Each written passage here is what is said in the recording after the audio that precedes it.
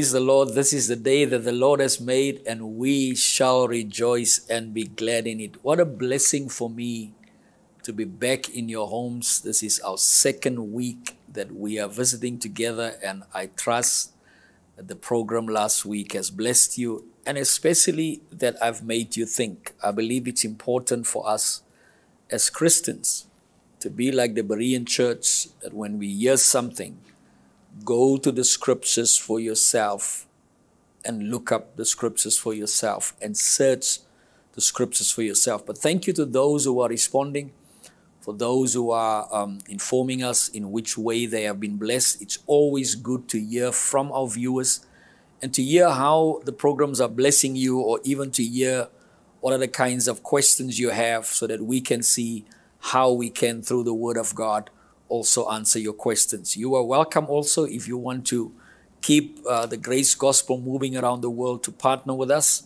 You will see on the screen there will be ways how you can become a part of what we are sharing. Remember, under grace, we do not compel or force anyone into giving because the Bible says, let each one determine as he purpose in his heart, not reluctantly or out of any grudges, but God loves a cheerful giver.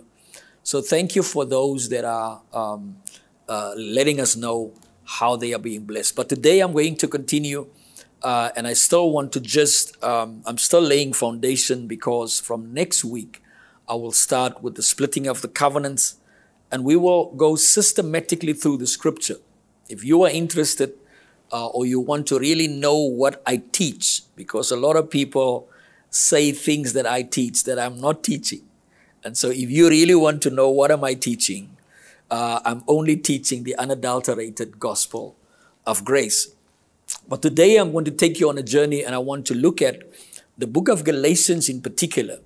And with the little time I have, I just want to exegete through the text and just run through uh, the five books very quickly. Uh, but just to give you a summary of what Paul is saying in Galatians chapter 1, especially when Paul is addressing the Galatian churches.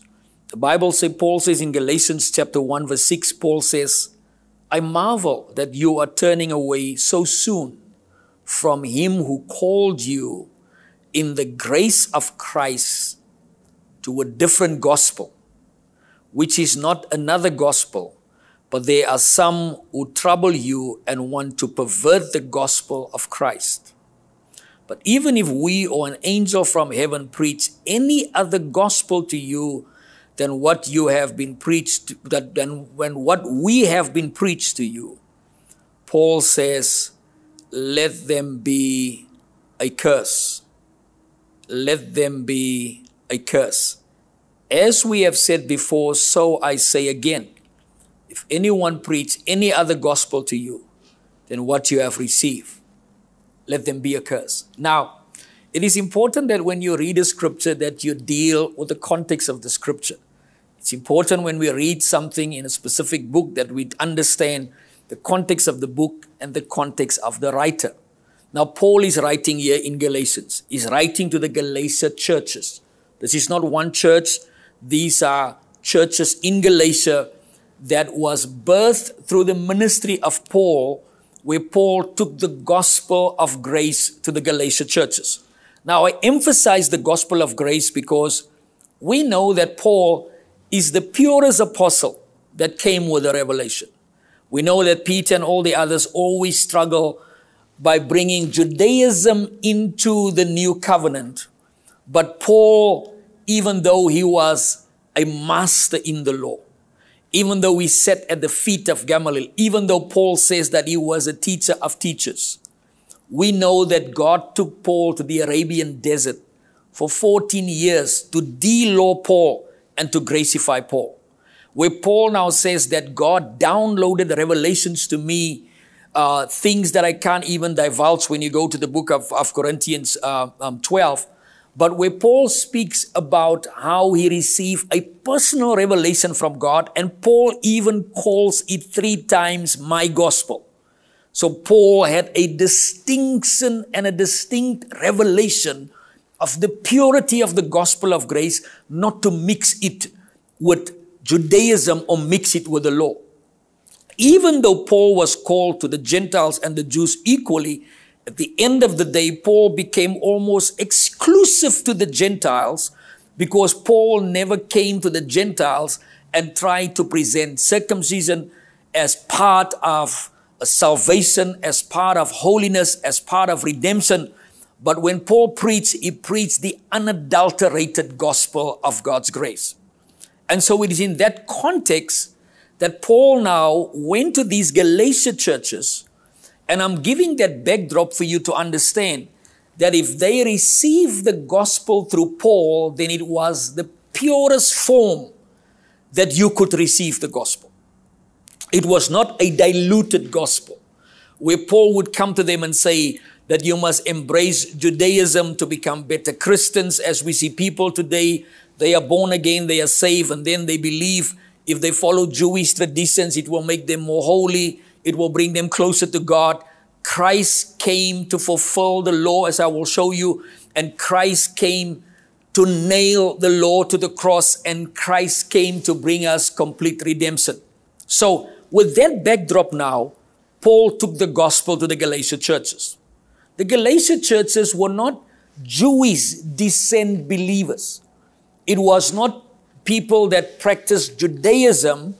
Now Paul came to them, gave them the gospel, where they now had to, had to, had to renounce Judaism in order to come into salvation through faith. No. These were Gentile descent believers. So they've never practiced the law of Moses. They never had the law of Moses. And when we talk about the law of Moses, we're not just talking about the Ten Commandments. We talk about the 603 other laws that was added to the 10, which is 613 of them. So now Paul has given the gospel to the Galatia Gentile descent believers, and they have been saved by grace through faith. They have come into the revelation that their sins has been paid for, that Jesus has paid for their redemption, that by faith they have eternal life, they have come into the revelation that when you say yes to Jesus, He imputes His righteousness to you, where you have access to your Father's presence 24 7 only on the basis of your faith in what Christ has done. So, with all of this they have received after Paul gave them the purity of the gospel, Judaizers came in, Jewish rabbis, Jewish philosophers, and now they were contaminating the minds of these Gentile descent believers who were saved by grace. So it's in that context that Paul is writing what he's writing here. I want you to get the picture now. They were free in Christ, they were redeemed by faith, and now they have been confronted to say, Christ is not sufficient. You must add to Christ. Go read Galatians. You must add observing of days. You must add circumcision. And so Paul now is addressing them because they fell for these tricks of the Judaizers who want to take them from freedom in Christ and put them back under the curse of the law. And look what Paul is now saying to them. I marvel. Another translation, Paul says, I am astonished that you were so easily turned away from the grace of Christ to another gospel that is not even a gospel. now, you must see what Paul is saying here because Paul is dealing with something that is very peculiar in the context of the church.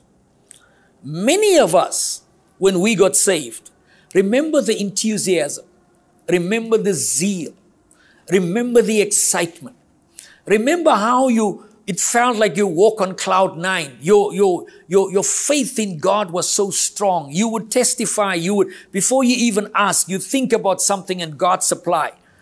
And then you fell into the, into the, into the claws of religion where subtly now the law was brought into your faith.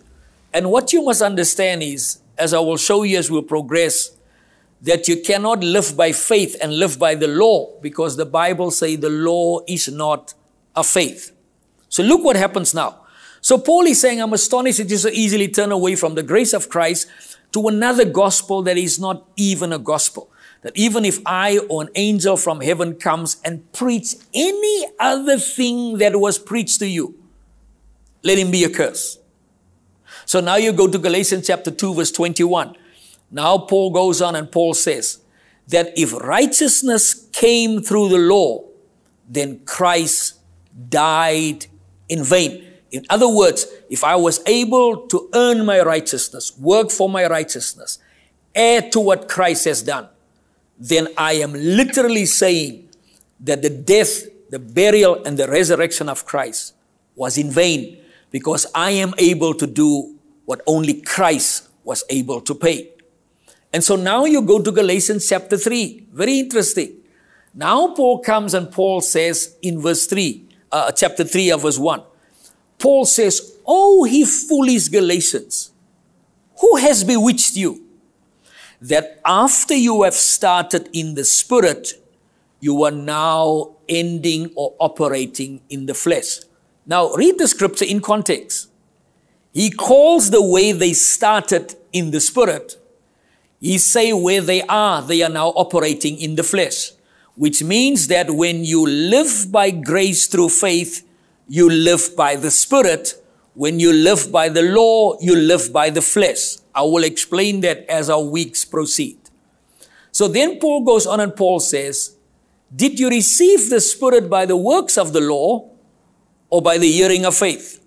Did you receive the Spirit by the works of the law or by the hearing of faith? You cannot receive the Holy Spirit if you live by the law. You cannot be led by the Spirit if you live by the law those who are who those who live by faith and those who live by faith they are the sons of God and it is by the spirit that his spirit cry out with our spirit Abba Father and so now Paul goes on and Paul says Paul says did you receive the spirit by the works of the law or by the hearing of faith has he worked miracles amongst you by the works of the law or by the hearing of faith Paul goes on and Paul now addresses the issue where Paul shows them that the moment you revert to the law, you revert to the flesh. The moment you revert to faith, you revert to the spirit. So Paul is addressing the issue of them that went from freedom in Christ and be put again under the yoke of bondage. Now, it's a powerful verse in verse 10 that comes. But let me just look at verse 1 again. Galatians 3, verse 1. Oh, ye foolish Galatians, who has bewitched you? These are powerful words that Paul is speaking to the Galatian churches. Paul is saying to them that because you have reverted back to the law, you are bewitched. Now, I lived in the Transkei for 21 years and I understand that you never go to a, a Sangoma and ask him to bless someone. You always go and pay your money to curse someone. So if Paul says that you are bewitched, then Paul is saying that you are under a curse. Why is Paul saying that? Look at verse 10. Galatians chapter 1 verse 10. Paul now says in verse 10, Whoever wants to operate by the works of the law is under a curse.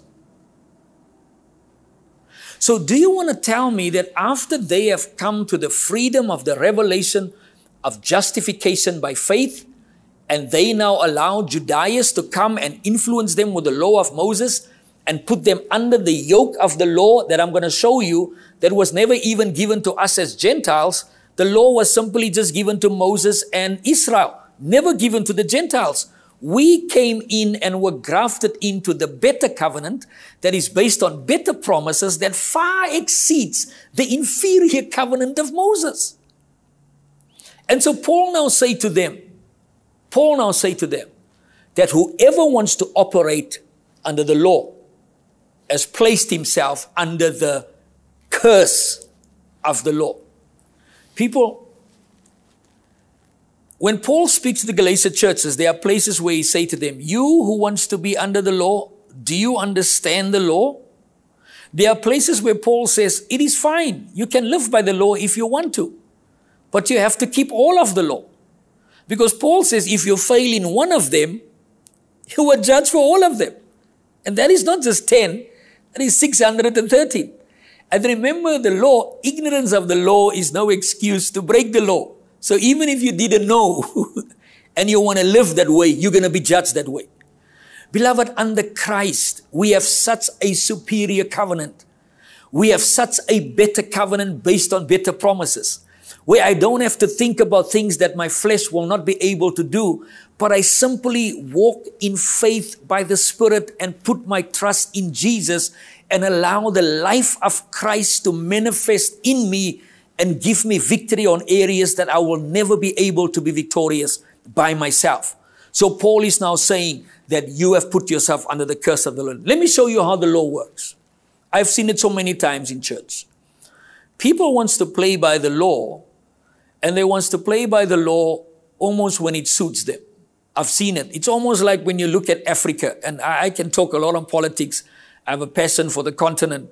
But even when you look at Africa, and I'm going to use it as an illustration. In Africa, we understand that the African context operates on a chieftain context. In Africa, they are chiefs, they are subordinates. People understand a chief is in his position, subordinates are in their position.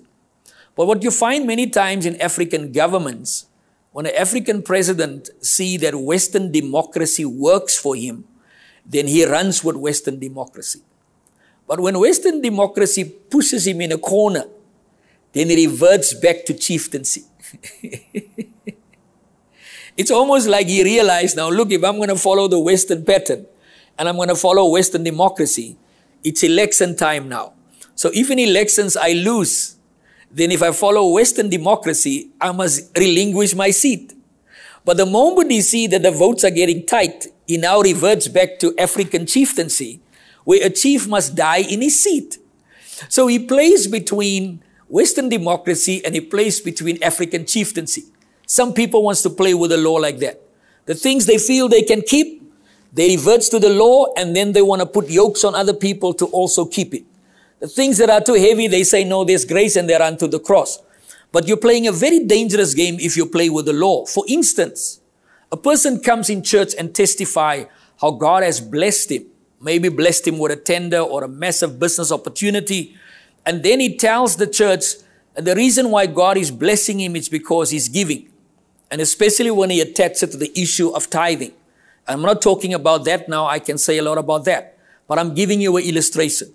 Now, if you take glory for that blessing that came your way and base it on your giving, then it means that you are saying, I am blessed because I have kept the law. Now remember how the law works. If you live by the law, you have to keep all of the law. If you now make a mistake and you're not able to do what the law requires, then what happens now? The law now comes to take what the law has given you because that's how the law works. Let me illustrate it this way to you. Let's say a person has worked for a company and he worked for a company for 25 years. The day he enters the company, there was a simple rule. You are here 9 in the morning, you leave 5 in the evening. If you ever, ever violate that rule, you lose all your rights. You work for the company for 25 years to the day. It's the day of your retirement. On the last day, of your retirement, you had an issue and you come late. You have now violated the law based on what your contract was built on. So it so happened you get to the office late. Your boss calls you into the office whose name happens to be Mr. Law. And your boss say to you, for 25 years, you faithfully kept to the contract and were here every morning at 9 o'clock. For on the last day of your coming, you missed it. Contractually, you're in violation now because you've, you failed the law after 25 years.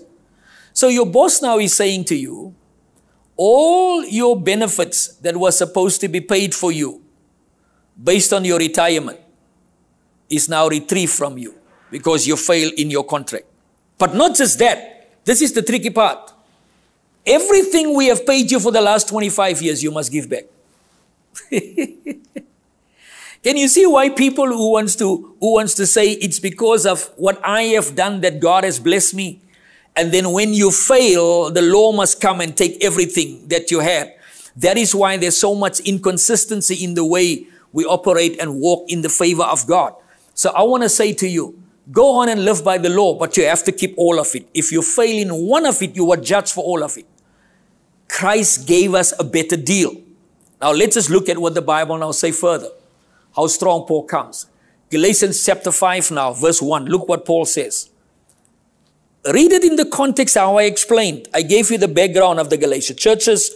I gave you their salvation by grace through faith. I gave you the Judaizers came in and want to revert them.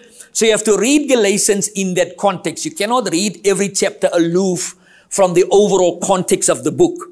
So he comes to verse chapter 5 now, and now Paul says in chapter 5, Stand therefore firm in the freedom by which Christ has set you free. Can you see the context now?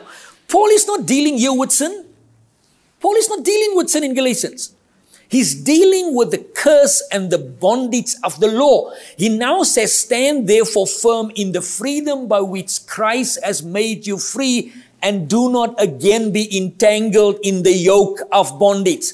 What is the yoke of bondage? It's not sin he's talking about. He's talking about revertance to the law after you have come into the revelation of salvation is by grace through faith. Look what he says further now. I say unto you, if anyone let himself be circumcised, anyone let himself be circumcised, he has alienated himself from Christ. Then Paul say, again I say unto you, if anyone let himself be circumcised, he has alienated himself from Christ and he has fallen from grace. This is powerful. It relates exactly back to Galatians chapter 1 verse 6. Listen to Galatians chapter 1 verse 6. I am astonished that you were so easily turned away from the grace of Christ to another gospel that is not even a gospel. He comes to chapter 5 and he says, Stand therefore firm in the freedom by which Christ has made you free, and do not again be entangled in the yoke of bondage. What is the yoke of bondage? The law that they went to after they've come by salvation through faith. Then he says, I say unto you, if any one of you let yourself be circumcised, this is powerful. You have alienated yourself from Christ and you have fallen from grace. I am submitting to you, a believer who have received Christ, who have eternal life, cannot fall from grace through sin. When a believer sins, he falls into grace because the more sin abound, the more grace abound to restore him, to redeem him, and to bring him back into right standing with God. The only way you can fall from grace is when you have come to the revelation of faith through Jesus Christ, and now you want to revert back to live by the law. You have alienated yourself from Christ, and you have fallen from grace. Many of us are following another gospel that is not even a gospel. I want to say this to you. Stay with me on this journey as I will open up the scriptures and show you that the gospel is nothing else but good news.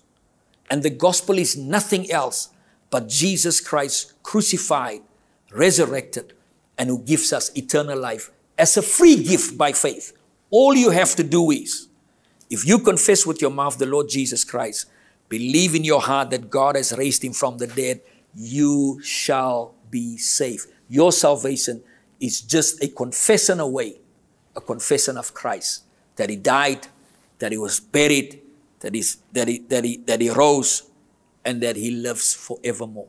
I trust that you are blessed with this second program, and I just want to pray with you. Maybe today you feel that you feel far from God.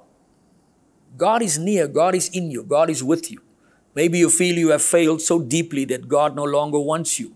I just show you you cannot fall away from God through sin because Christ dealt with sin. The law is the biggest enemy of God in the day and age we live in because the law is your effort. But grace and faith is what Christ has done. Father, we thank you for those who are listening and those who are walking on this journey. We pray for those today who feel that they have backslidden, who feel that they have walked or lost God. We thank you that you are with them and in them and as they confess Christ, we thank you that you restore them back into their glorious position of righteousness. Bless every household where this program is aired. And we thank you for the way you are going to transform people and bring them to the revelation of our Lord Jesus Christ. I pray that you will take this journey with me, tell your friends about it, and let us discover the freedom that Christ brought. My name is Peter Barnes, and I'm representing Grace, uh, Peter Barnes, Grace Ministries. And I come into your house with nothing else but good news. And remember, good news can never make you feel bad. Remember this as I end every week that God is not against you, but God is for you. God bless you. Have a blessed week. We see you next week. Amen.